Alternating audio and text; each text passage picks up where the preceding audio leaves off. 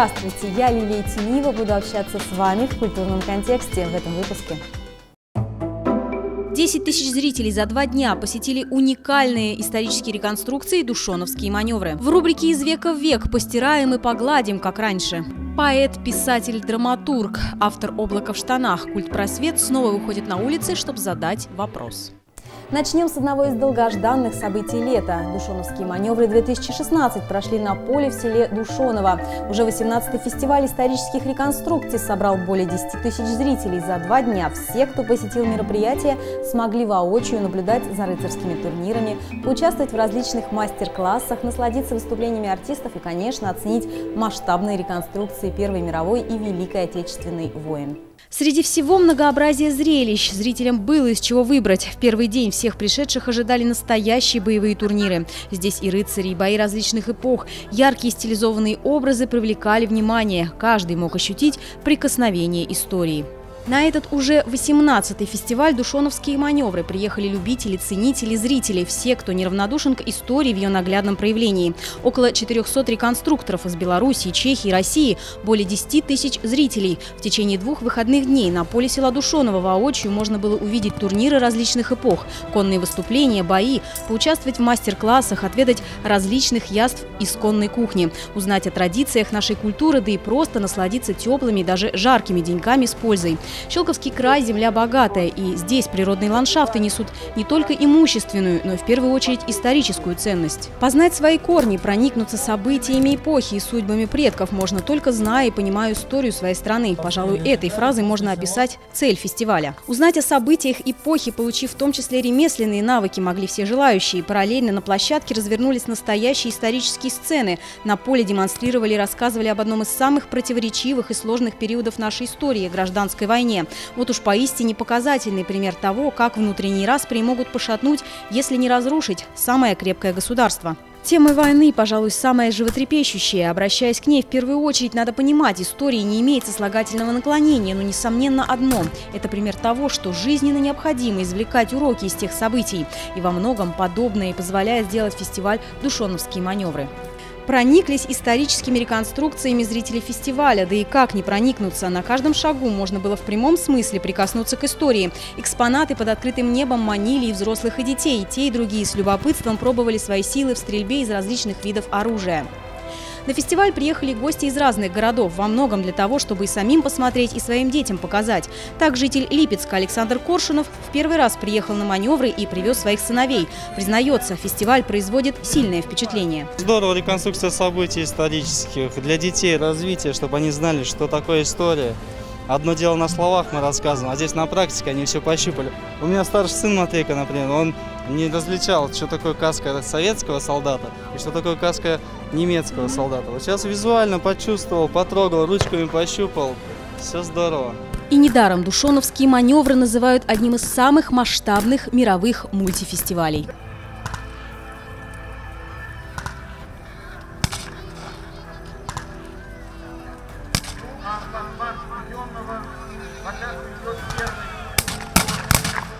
Если честно, эмоции переполняют. Я вчера приезжал, сегодня приехал уже в более расширенном составе семьи.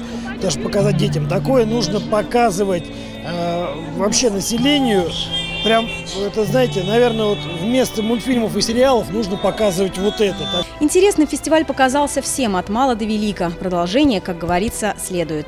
Сама инсценировка боев очень интересна. Сейчас идем вторую смотреть. Как вы считаете, такие фестивали важны? Важны. И надо чаще их проводить, разные мероприятия такие, чтобы как бы народ отвлекался от всех политических идей. Вот именно вот так и надо вести жизнь.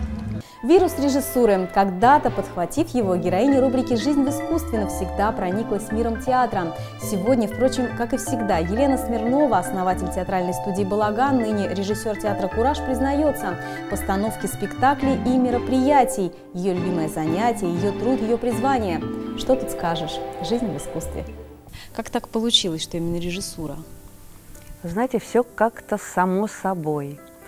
Когда начала работать в Доме культуры, начала с зав массовым отделом и э, организовала клуб «Старшеклассник».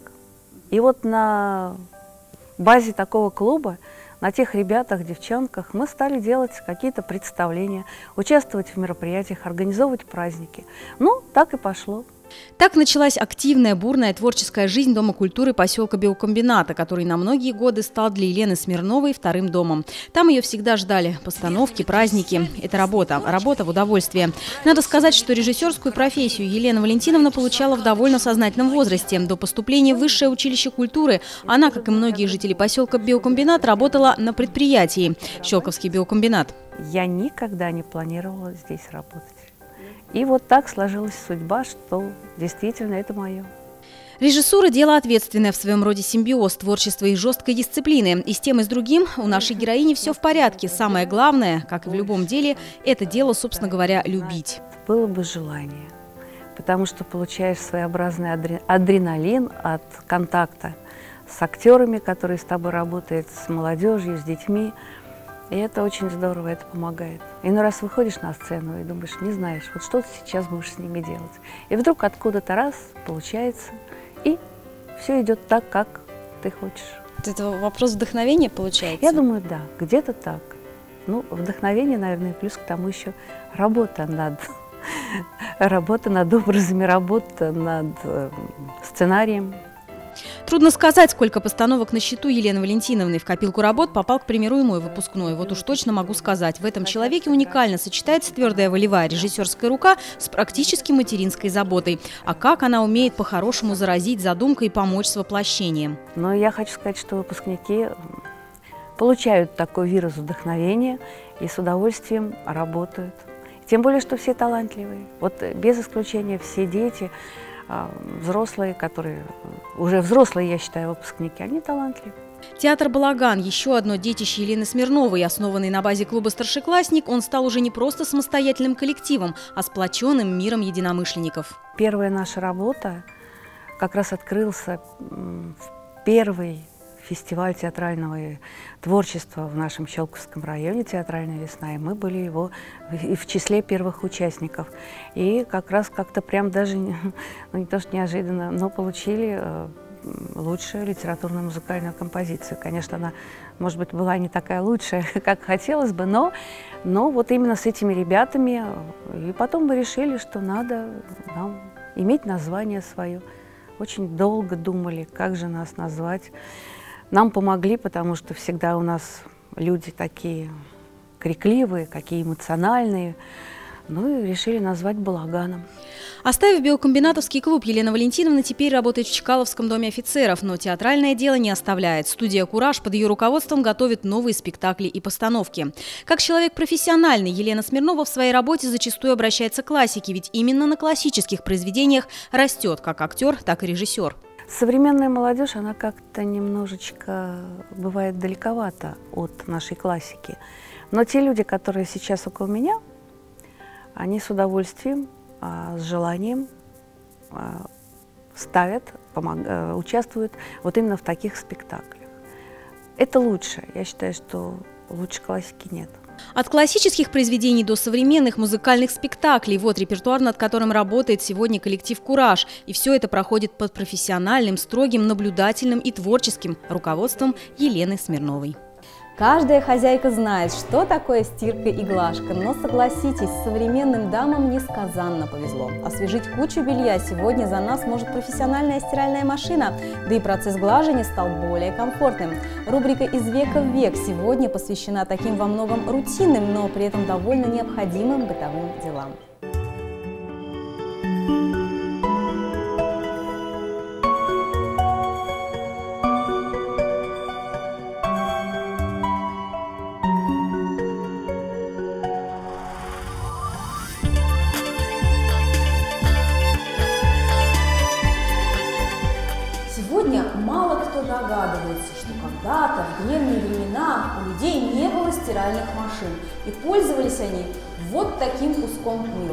А еще наши бабушки пользовались вот такой доской. Сегодня мы расскажем об истории стирки. Ох и нелегко было женщинам в далекие прошлые века. Как же стирали на Руси, чем пользовались наши бабушки при стирке белья? Оказывается, пользовались они вальком и скалкой. Сколько сил и труда надо было положить, чтобы белье и одежда вновь засияли чистотой. Стирка белья исконно была чисто женским делом. Более того, одной из первых женских профессий. С ранней весны до глубокой осени стирали в проточной воде на открытом воздухе, стоя на коленях на деревянных мостках. Мостки для полоскания белья зачастую превращались превращались в своего рода женский клуб, где шлепание мокрого белья происходил интенсивный обмен новостями. Любой появившийся мужчина изгонялся из женского царства мокрой тряпкой, дружной радости собравшихся женщин. Сначала белье кипятили дома в котле, отжимали, а затем несли корзину к реке или к пруду. Стирая белье у реки, прачки интенсивно обменивались новостями. Разные народы использовали разные способы стирки, но все они приблизительно были одинаковыми. Сначала белье замачивали в холодной или горячей воде, затем терли, били, колотили по плоским камням или на мостках на берегу реки, полоскали, выжимали и сушили. Ставили на целый день или на ночь, сверху клали кирпич, нагретый в печи. Да, белье от горячего кирпича кипело.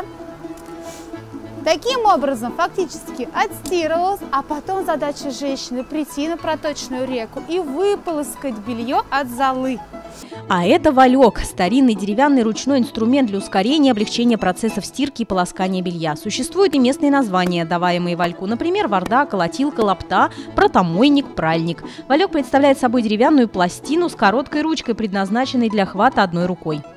Ну хорошо, вот допустим, летом это видно, понятно, а в холодное время года-то вот как они холодно, а что делать? Стирали. И это было одной из причин э, ранней смертности женщины, тяжелого физического труда да, от стирки.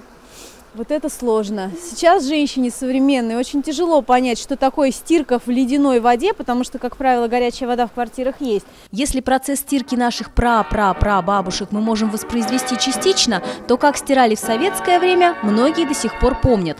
Использовали для этого хозяйственное мыло, вот такую доску и тазик. Она скучать не дает никогда, и любят песни деревни любят петь большие города. Производством стиральных машин в СССР занимались преимущественно предприятия оборонного комплекса, но подавляющему большинству их просто некуда было поставить. Люди жили в бараках и коммуналках. В малогабаритных хрущевках для них тоже места особо не было. Белье приходилось кипятить в огромном баке, выворке, если не каждый раз, то через раз.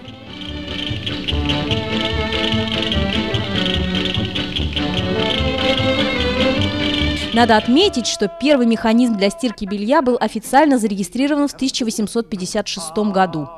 В развитии стиральных машин было и применение мотора бензинового двигателя внутреннего сгорания или электродвигателя. Изобретатель стиральной машины, запатентованный в 1910 году Фишер, вошел в историю как создатель нового класса электробытовой техники. Машина имела деревянный барабан, который совершал по 8 вращений то в одну, то в другую сторону. Для того, чтобы привести механизм вращения барабана в сцепление с валом электродвигателя, в нижней части машины имелся рычаг. Все придаточные механизмы машины открыты, безопасности в те времена не слишком заботились. В 1930-х годах в стиральных машинах появляются механические таймеры и сливные насосы с электрическим мотором. Сначала стиральные машины были не автоматизированные активаторного типа. Активатор – это вращающийся диск. В 1950-х годах стиральные машины обретают функцию отжима – центрифугирования. В середине 20 века стирку удалось автоматизировать. Появились барабанные стиральные машины, машины с фронтальной и верхней загрузкой, с функцией отжима и сушки выстиранного постиранного белья. Стиральная машинка была доступна не всем семьям, потому повсеместно стали открываться общественные прачечные. Машинки были оснащены отверстиями, куда посетители прачечных сбрасывали монеты. Во времена кризиса ландроматы стали особенно актуальными, их стало появляться все больше и больше. В 1978 году создана стиральная машина с системой управления на основе микропроцессора, а в середине 90-х годов разработаны стиральные машины, позволяющие реализовывать огромное число программ стирки.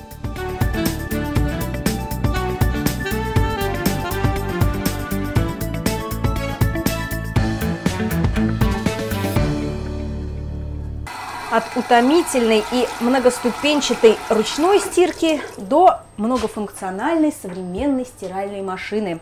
Вот так развивалась история стирки. А возможно, через каких-нибудь 100-200 лет современные стиральные машинки покажутся нашим потомкам чем-то допотопным. А ведь согласитесь, так приятно доставать из шкафа чистое и аккуратно выглаженное белье. А что, если приходится гладить не одну-две кофточки, а целую кипу белья? Как с этим процессом справлялись раньше?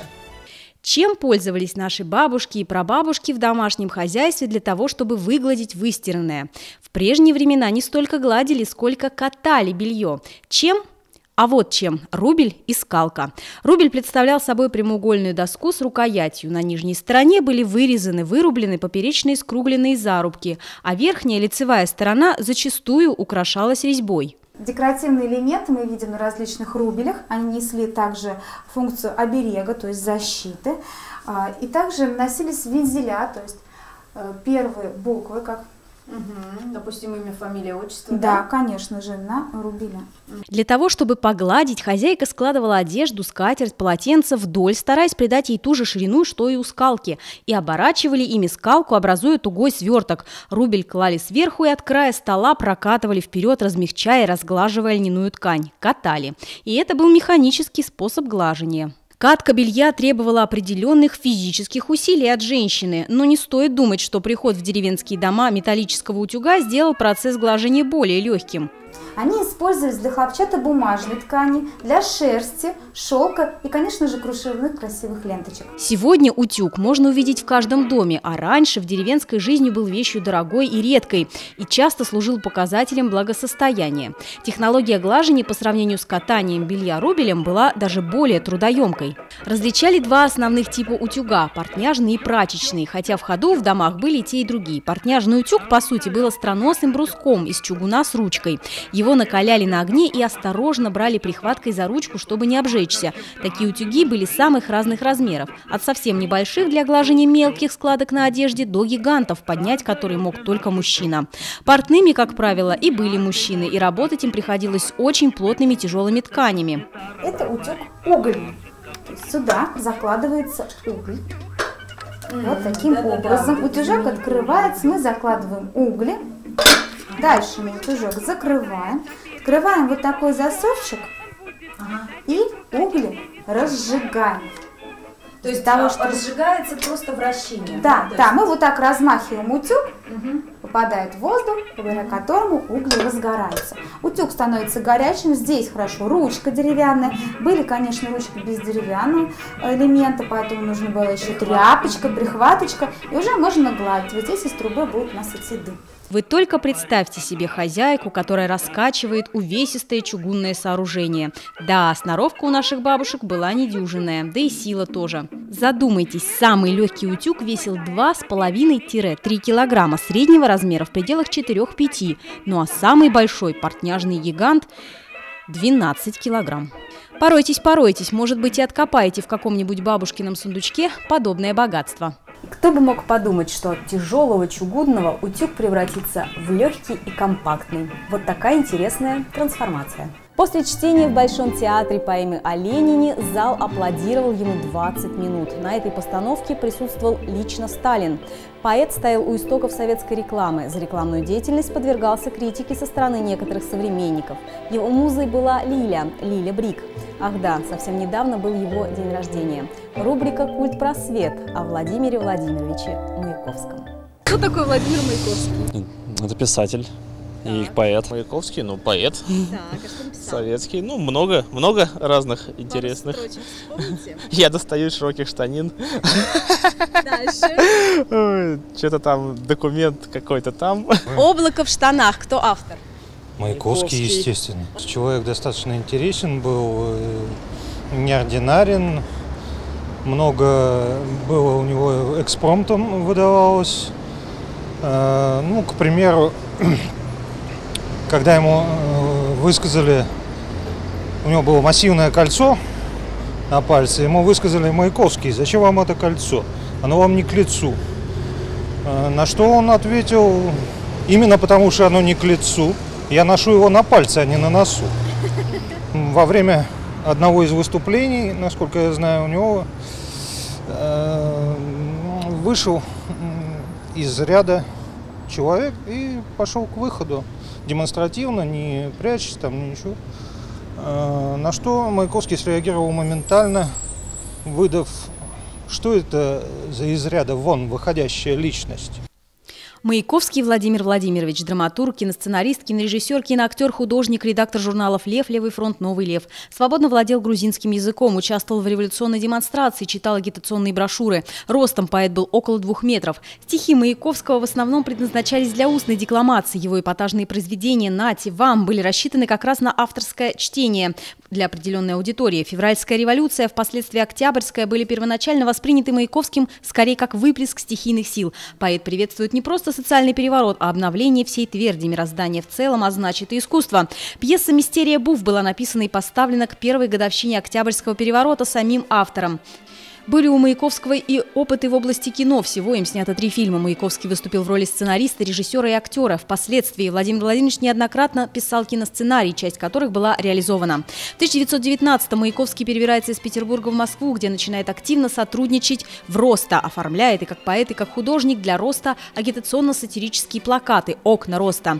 Вышло первое собрание сочинений поэта, все сочиненное Владимиром Маяковским. Организовал группу «Лев», «Левый фронт искусств», «Толстый журнал». В группу группу входили как литераторы Маяковский, Пастернак, Асеев, Третьяков и филологи Шкловский, Брик, так и представителей других областей искусства.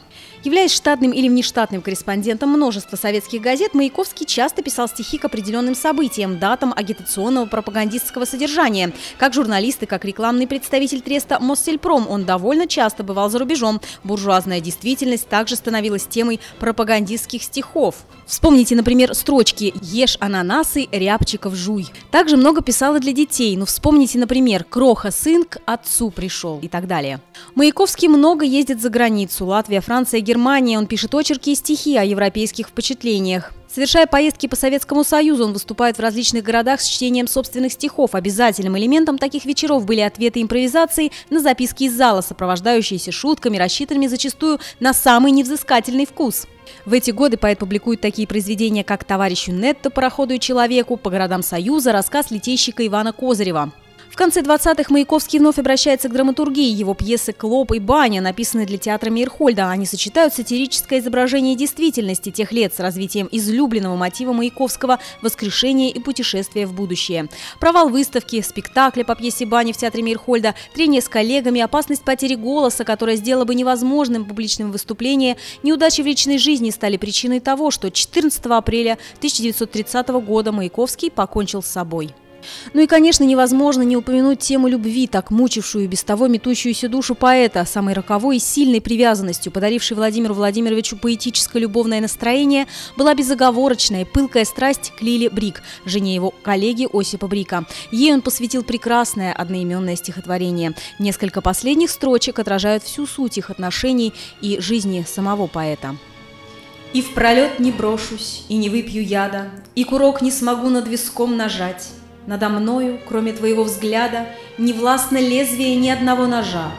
Завтра забудешь, что тебя короновал, Что душу цветущую любовью выжег, И суетных дней взметенный карнавал Растреплет страницы моих книжек.